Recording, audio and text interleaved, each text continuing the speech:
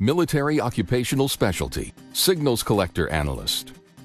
Accurate intelligence data is the cornerstone to mission success in today's Army, and the highly trained soldiers in this MOS provide some of this critical intelligence data as they locate, identify, collect, and exploit enemy communications, radar, and electro-optic signals using intercept devices. After identifying hostile signals, they report this data to higher headquarters for targeting, while still engaging in a complex electronic puzzle.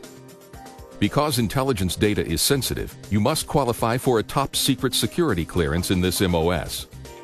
Then the Army will train you in intermediate mathematics, basic radio theory and radio wave propagation, and various computer configurations. You'll also train in processing and storing classified information and in operating the equipment that receives and processes it.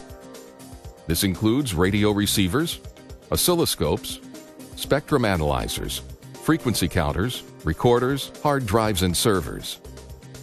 Your intensive training will include using diagnostic software to give you the technical skills to identify, collect, and analyze intelligence data and recognize the nature of signals emissions so you can cripple the enemy's ability to effectively communicate.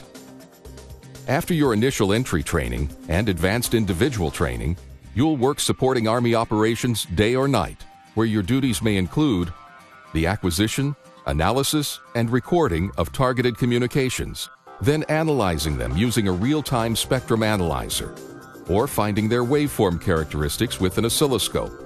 Serving in this MOS can help you transition from the military to the civilian employment sector Information about hostile forces is crucial to mission success. Military Occupational Specialty Signals Collector Analyst